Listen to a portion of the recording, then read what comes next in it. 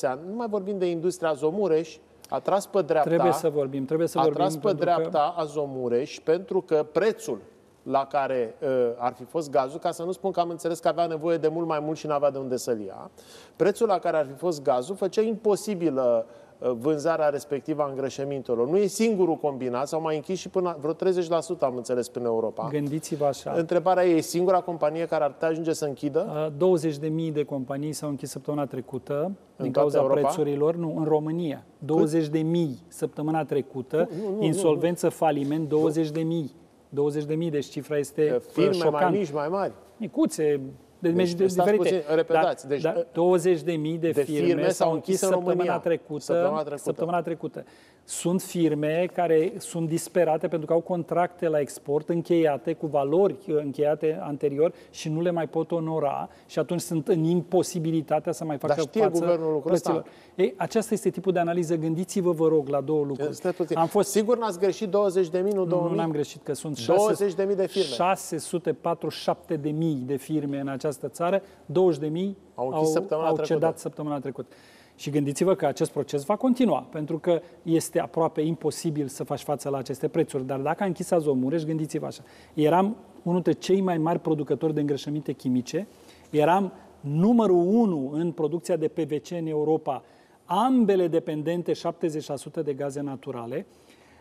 Gândiți-vă că dumneavoastră plătiți acum de 5 ori mai mare prețul la AdBlue pe care îl puneți în mașină să diminuați emisiile, pentru că era făcut din uree și a crescut prețul de 5 ori a acelei, acelei materii prime.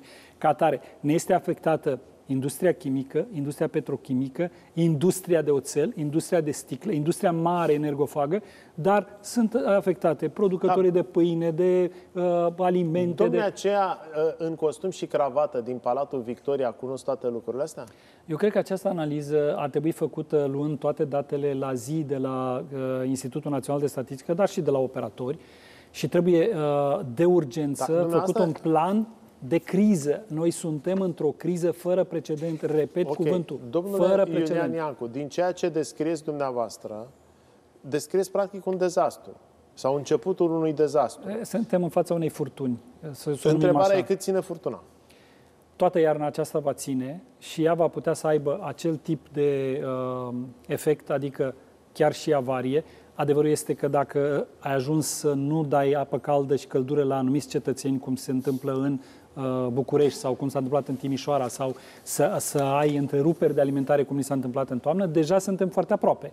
Problema este că noi trebuie să ne pregătim. Ca să ne pregătim, ne trebuie o autoritate națională pentru situațiile de criză de acest gen din domeniul energiei electrice. Ah. Ea trebuia făcută în 5 ianuarie 2020, conform regulamentului 941 al Uniunii Europene. Da. Care este 5 această ianuarie 2020? 5 ianuarie, suntem, în, suntem, avem un pic, suntem în 2022. 2022. Exact. Și atunci, unde este acea autoritate? Cine care este celălalt de criză? Care e planul de măsuri de urgență pentru intervenție și care sunt măsurile care trebuie luate zilnic acum cu această situație de la, din Ucraina și Polonia-Belarus eu aș face o celulă de criză la nivelul guvernului care să fie funcțională de la 7 dimineața până la 7 dimineața, în care dispecerul energetic național trebuie asistat pentru că oamenii aceia au și ei o capacitate limită de gestiune. Nu pot sta mai mult de șase ore, pentru că ei stau pe toți parametrii da, să-i, să asigure. Am văzut cum arată. Este îngrozitor și atunci sistemul energetic, electroenergetic este un sistem viu. El trebuie să funcționeze 24 din 24 de ore. Întreb, noi aflăm de la noastră niște informații pe care nu aveam cum să le aflăm dacă nu suntem de specialitate, să înțelegem da. lucrurile astea. Întrebarea este, cei care iau deciziile, cei care au făcut schema de ajutor despre care aflăm că nu prea folosește la nimic în momentul ăsta, uh, știu, domnule, lucrurile astea? După părerea mea, foarte multă lume a fost luată prin surprindere de această furtună care, vedeți, este europeană, este globală și, și uh, se iau măsuri pe picior. Am, am fost și supuși unei crize politice care nu le-a dat uh, răgazul și liniștea să analizeze. Acum însă, am trecut de criza politică, ne-am așezat, acum trebuie să facem în felul următor. Nu funcționează schema, este nefuncțională. Deci schema Ea... asta de ajutor care ne-a fost prin urmare, ca să zic prin așa, urmare este soluție de ieșire din această situație. Imediat guvernul pune capac și spune preț reglementat pe perioada de șase luni, minim, și atunci în schema respectivă am pus Adică preț să înghețe prețul. să sau înghețe prețul, dar la o, la o valoare suportabilă, fără să fiu obligat acum să, să dau profituri istorice, că nu mă ajută profitul istoric. Cu ce mă ajută că hidroelectrica are 60% profit din cifra de afaceri? Cu nimic. Dar, în schimb, îmi distruge toată economia și mi omoară nivelul de Și trai. data viitoare, hidroelectrica uh, nu va mai avea unde să vândă atâta curent, că au închis foarte mulți.